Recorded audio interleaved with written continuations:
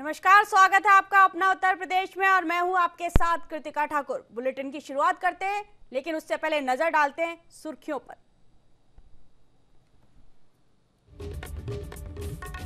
केरल दौरे पर प्रधानमंत्री नरेंद्र मोदी, प्रसिद्ध गुरुवायर मंदिर में किए दर्शन।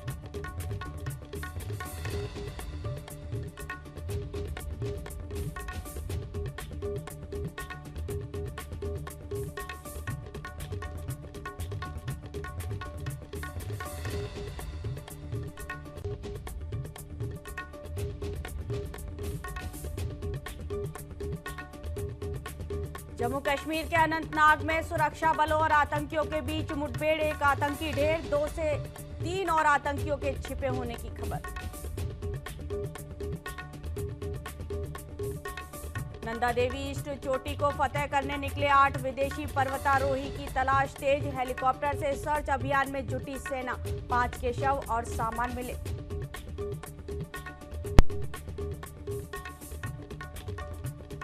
उत्तर प्रदेश के फतेहपुर में दबंगों की दबंगई, मजदूरी नहीं करने पर धारदार हथियार से किया हमला, तलवार से मजदूर का कटा हाथ।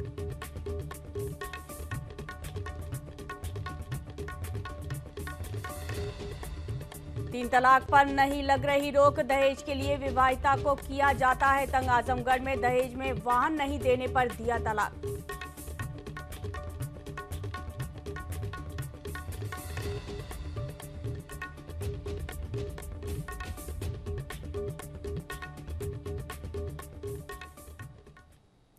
आइए रुक करते हैं प्रमुख खबरों का। आजमगढ़ ज़िले के जीयनपुर कोतवाली क्षेत्र के बरडीहा गाँव निवासी सना फिरदोस की शादी अंबेडकर नगर ज़िले के राजे सुल्तानपुर थाना के बलरावपुर गाँव निवासी मोहम्मद आरिफ से हुई थी। जहाँ शादी के वक्त सना के परिजनों ने दहेज के साथ दुपहिया वाहन के लिए नगद रुपए भी दिए थे। तो वहीं शादी के कुछ दिनों बाद ही मोहम्मद खाड़ी देश में कमाने के लिए चला गया, जिसके बाद ससुराल वालों ने स्कॉर्पियो की मांग शुरू कर दी। लेकिन पीड़िता के परिजन गरीब होने के कारण उनकी मांग को पूरा नहीं कर सके, जिसके बाद आए दिन पीड़िता के साथ मारपीट का सिलसिला शुरू हो गया। कुछ समय बाद पति ने तंग आकर पीड़िता को तलाक दे दिया और इसी दौरान पीड़िता से मारपीट कर उसकी दो वर्ष की बच्ची को भी छीन लिया गया।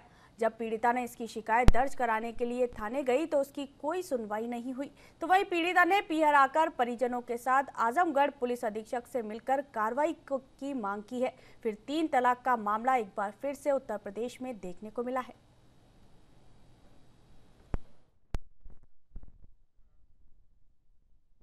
ये एक मेरे मेरी बच्ची सब छीन ली है। मुझे तलाक दे दी दहेज के लिए। कहाँ रहते हैं? सऊदी रहते हैं। आए हुए हैं कैसे आ घर पे से आ आ गए हैं। क्या बोले हैं? बोले हैं कि मुझे दहेज चाहिए मुझे गाड़ी चाहिए। दो चक्का सब दिए थे गाड़ी गाड़ी का पैसा दिए थे सब लोग खा गए थे तो और गाड़ी मांग रहे थे। अब स्कॉर्पियो गाड़ी मांग रहे थे तो गाड़ी मांग रहे थे। तब बोले कि बच तू अपने मैके चले जा हम तुम्हें नहीं रखेंगे। पूरा तीन बार तलाक दे के बच्ची गोद में से छीन के ले लिए। देखिए वो प्रकरण अभी अभी मेरे सामने आया है। और उसमें पीड़िता हमारे सामने आके कही है कि इन्होंने हमारे साथ मानसिक उत्पीड़न किया है, हमको घर से निकाल दिया है। इस तरह की बातें आरोप लगा रही थी। तो मैंने इसमें महिला इंस्पेक्टर को कहा, इसमें एफआईआर कायम करके और आगे की कार्रवाई करें। उत्तर प्रदेश के फिरोजाबाद पुलिस ने लूट गिरोह का पर्दाफाश किया है, जहाँ पुलिस ने लूट के तीन आरोपियों को गिरफ़्तार किया है, जिनके पास से एक कार और लूट का सामान भी बरामद किया है। तो वहीं पुलिस पूछताछ में गिरोह ने कई लूट की घटनाओं को अंजाम देने की बात कबूल की है। फ़िलहाल पुलिस पूरे मामले की जाँच में जुटी हुई है।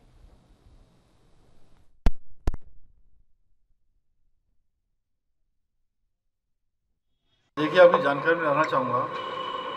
सीओ सिटी संजय वर्मा और एसएचओ दक्षिण सुनील कुमार के नेतृत्व में ये तीन बदमाश गिरफ़्तार किए गए हैं।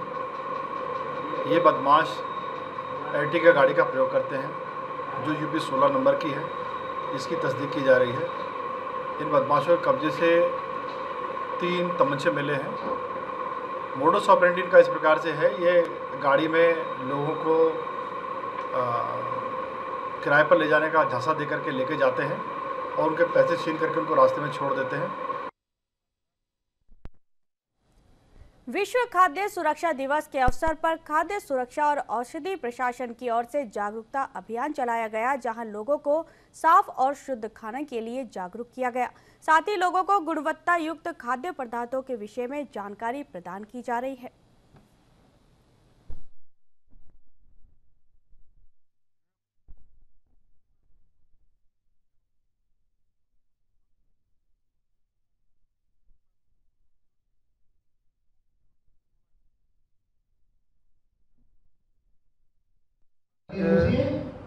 विश्व खाद्य सुरक्षा दिवस मनाया जा रहा है, जो कि संयुक्त राष्ट्र संघ द्वारा बताया गया है कि आज पूरे देश में हमारे जो खान पान है, उसकी सुरक्षा कैसे की जाए, खाद्य पदार्थों की गुणवत्ता को विश्व स्तरीय बनाने के लिए यहाँ वृंदावन में भी एक खाद्य सुरक्षा विषय पर सेमिनार एक बनाया गया है, जिसमें हार्वर्ड स्कूल के प्रोफेसर आए हुए हैं।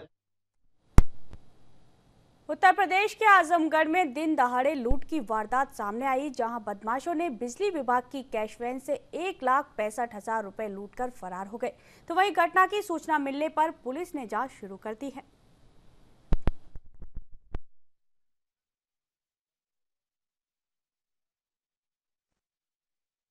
उत्तर प्रदेश के सहारनपुर में मुठभेड़ के बाद पुलिस ने एक पच्चीस हज़ार के इनामी बदमाश को गिरफ़्तार किया है। हालाँकि मुठभेड़ के दौरान एक बदमाश भागने में सफल रहा है। बता दें कि पकड़े गए आरोपियों से पहले से कई मामले दर्ज हैं तो वहीं पकड़े गए आरोपियों के पास से चोरी की मोटरसाइकिल और कारतूस भी बरामद हुए। फ़िलहाल पुलिस पूरे मामले की जाँच में जुटी हुई है।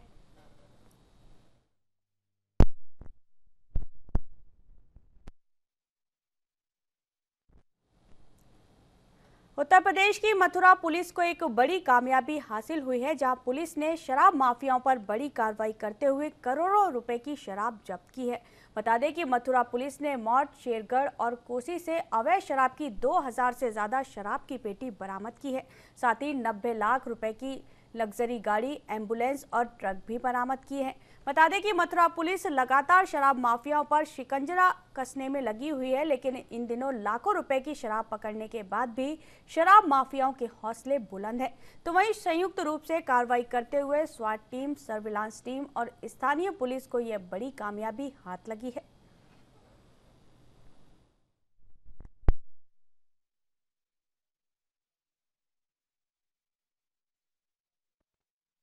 सर के द्वारा दिए गए दिशा निर्देशों के अनुरूप कल पहले से ही मथुरा ज़िले के अंदर शराब को, अवैध शराब को पकड़ने के लिए अभियान जारी है। जिसके अंतर्गत कल छः तारीख को वरिष्ठ पुलिस अधीक्षक के निर्देशन में एक व्यापक अभियान चलाया गया, जिसमें स्वॉट टीम सर्विलांस टीम और विभिन्न थानों की टीमें सम्मिलित थी। इनके द्वारा कल कुल आठ वाहन पकड़े गए, जिसमें कि अवैध, अपमिश्रित हरियाणा मार्का की शराब को बिक्री के लिए ले जाया जा रहा था, जिसमें कुल 2528 पेटियाँ बरामद हुई है, जिसकी कुल कीमत एक करोड़ आठ लाख रुपए है। उत्तर प्रदेश की मथुरा थाना पुलिस ने मुठभेड़ के दौरान चार शातिर लुटेरों को गिरफ़्तार किया है, जिनके पास से अवैध हथियार और पच्चीस हज़ार की नकदी बरामद हुई है। पुलिस के मुताबिक पकड़े गए आरोपियों पर लूट और हत्या के दर्जनों मुकदमे दर्ज हैं।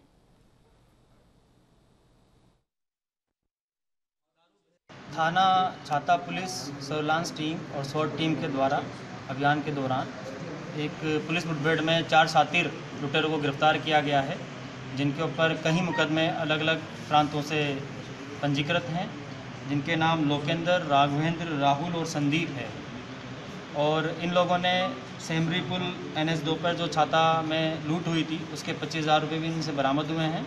इसके अतिरिक्त इनके इनके पास से तीन अदद तमंचे छः अदद कारतूस और दो खोखा कारतूस बरामद हुए हैं। ये लोग एक शातिर गैंग के रूप में काम करते हैं। इन्होंने आसपास के जितने भी ज़िले हैं और प्रांत हैं, उनमें काफ़ी लूट की घटनाएँ अंजाम दिया है।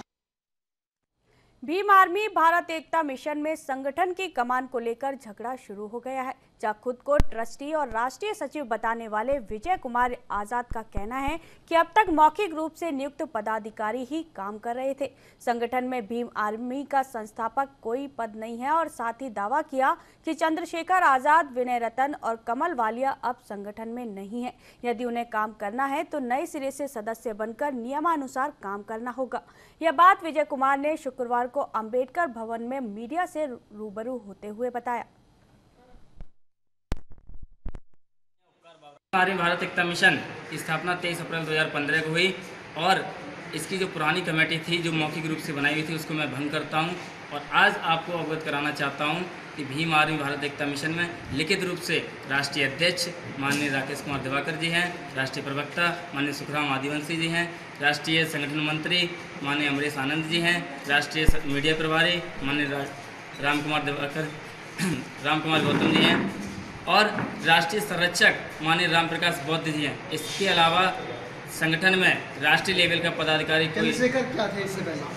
चंद्रशेखर मौखिक रूप से एक संस्थापक थे लेकिन आज आज संगठन जब रजिस्टर्ड हो गया है तो इसमें मौखिक रूप से ये जो पद थे उनको सभी को खत्म किया जाता है और लिखित रूप में संस्थापक नाम का कोई पद नहीं है।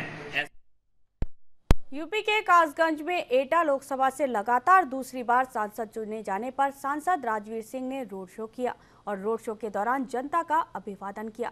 इस दौरान मीडिया से बातचीत करते हुए कहा कि कासगंज में पिछली बार जो कार्य अधूरे रह गए थे, उन्हें पूरा करना हमारी प्राथमिकता रहेगी।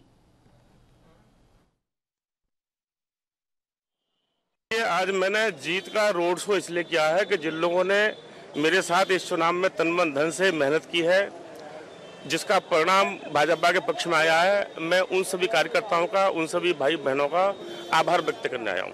तीन मौत मर गई हैं चार चार लाख रुपए सरकार की ओर से मैं कल देने जाऊँगा और जाके स्थिति का देखूँगा। क्या सही हो सकता है? मृतक परिवार को पूरा सहयोग योगी सरकार के किसानों को किए गए बकाया भुगतान के दावे सहारनपुर में फेल नज़र आ रहे हैं, जहाँ सहारनपुर के गन्ना भवन पर भाकियू कार्यकर्ताओं और किसानों ने सैकड़ों की संख्या में एकत्रित होकर गन्ना भुगतान को लेकर जमकर नारेबाजी की। यही नहीं, गन्ना भुगतान नहीं होने से नाराज़ भाकियू कार्यकर्ताओं ने गन्ना अधिकारी के दफ्तर को बंद कर दरवाजे पर ताला जड़ दिया। और बकायदा गन्ना अधिकारी को ही अपने साथ धरना स्थल पर बैठा लिया।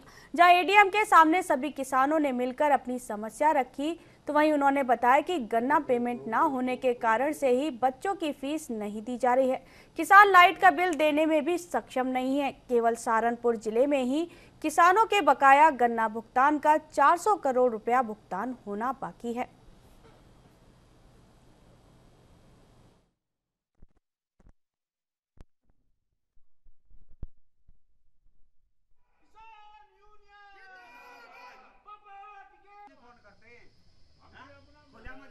भाई, गन्ना भुगतान को लेकर एक बैठक हुई थी कई रोज पहले एडीएमई की अध्यक्षता में।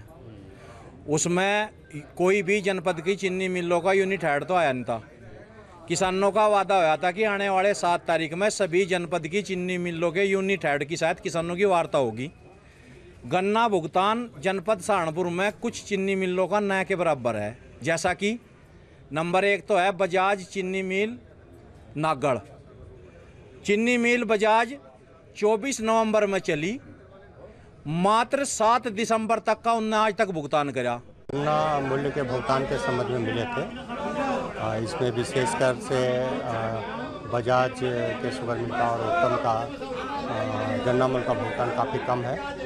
और इस संबंध में जिलाधिकारी महोदय ने नेक्स्ट वीक में मीटिंग भी रखी है। इस बीच में हम इनके चीनी मोलाइसिस और बगास को मॉनिटर कर रहे हैं और उनकी बिक्री का 85 परसेंट गन्ना मूल्य में डलवाने की डलवाने की कोशिश कर रहे हैं। डीसीओ साहब ने किसानों के साथ गद्दारी करी। हमने गुस्से में आकर के इसका ताला बंद कर दिया। जब तक वो माफ़ी नहीं मांगेगा अपना किए किएगी तो हम चाप भी नहीं देंगे और चाहे हमें भी यहीं रात को रहना पड़े हम रात के रहने की तैयारी में जुट के आए हैं। प्रदर्शन करने का पेमेंट नहीं हो पा रहा। ये झूठा बोल रहे हैं। ये कभी कह रहे पचास परसेंट होगा कभी बोल रहे चालीस परसेंट होगा कभी कह रहे दस परसेंट होगा समस्या है पेमेंट नहीं हो रही है पेमेंट नहीं बच्चों की ना फ़ीस दी जा रही ना इलाज के लिए पैसा है ना जो है बिजली का बिल दिया जा रहा। उत्तर प्रदेश में गाजियाबाद की खोड़ा पुलिस ने चार बाइक चोरों को गिरफ़्तार किया है और इनके पास से सात बाइक बरामद की है।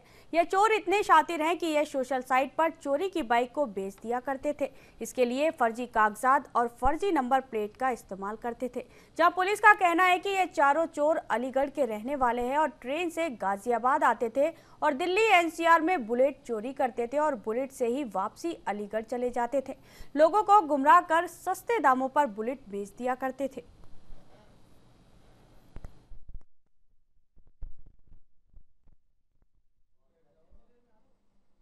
थाना खोड़ा द्वारा बहुत ही अच्छी कार्रवाई करते हुए आज सात बुलेट रिकवर की गई हैं। ये सारी सातों बुलेट मोटरसाइकिल्स हैं जो कि बहुत हाई एंड मोटरसाइकिल्स मानी जाती हैं और इनमें अभियुक्त चार गिरफ़्तार करे गए हैं।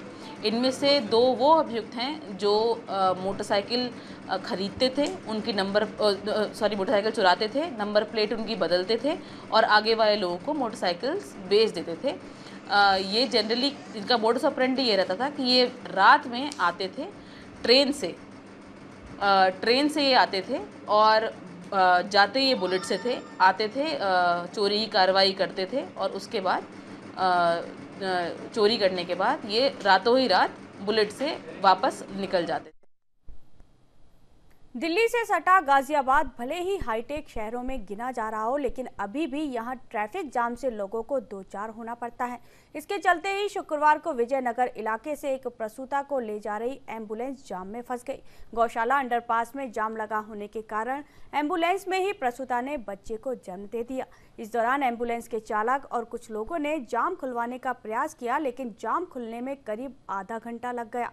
गनीमत रही कि समय रहते महिला और नवजात को अस्पताल पहुँचाया गया, जहाँ दोनों पूरी तरह से स्वस्थ हैं।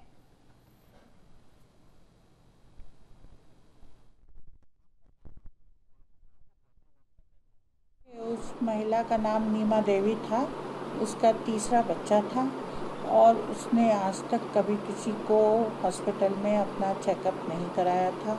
ना ब्लड टेस्ट था उसका कोई, ना कोई अल्ट्रासाउंड था।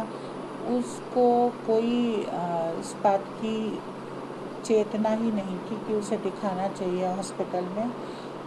दर्द हुआ, एंबुलेंस को उसने फ़ोन करा, उसके पति ने 102 पे एंबुलेंस पहुँची और उसे लेकर चिकित्सालय आ ही रही थी कि जाम में फंस गई और महिला का प्रसव एंबुलेंस के अंदर हो गया। उत्तर प्रदेश की निचलौल में दो परिवारों के विवाद पर पुलिस की कार्रवाई से परेशान महिला ने मिट्टी का तेल डालकर आत्महत्या की कोशिश की। जब पुलिस की मौजूदगी में जब वाकया हुआ तो पुलिस ने मिट्टी के तेल डालने वाली महिला को गिरफ़्तार कर लिया। मामला निचलौल का है, जहाँ शिकायत पर तहसीलदार महिला के घर को हटा रहे थे कि अचानक महिला ने मिट्टी का तेल डालकर आत्महत्या की कोशिश की। इस पर प्रशासन के हाथ पाँव फूल गए और आनंद फानन में महिला को बचाया और पुलिस ने उसे गिरफ़्तार कर लिया।